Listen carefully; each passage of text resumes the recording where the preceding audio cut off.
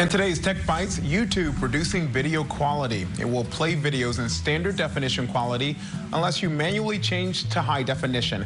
Other streaming services are cutting bandwidth too. All the people staying at home are putting a strain on internet providers. And food delivery services are seeing a surge in demand during this pandemic. Uber Eats saw a 10% increase in sales last week compared to the week before. And the company reported a 30% increase in people signing up to deliver food.